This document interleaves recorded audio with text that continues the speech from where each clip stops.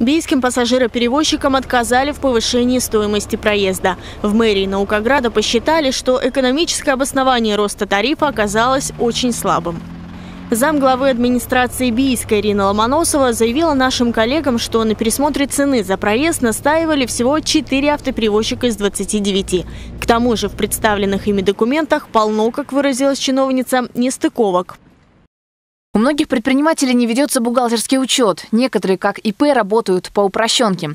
В отчетах предпринимателей уровень зарплаты намного ниже, чем должен быть МРОД.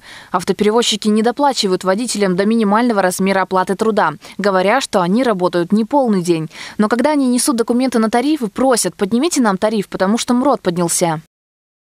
Ломоносова рекомендует перевозчикам уточнить расчет себестоимости проезда и объединиться, если они действительно хотят, чтобы тариф вырос. Их мнение учтут только если в мэрию обратиться не меньше половины представителей транспортных компаний.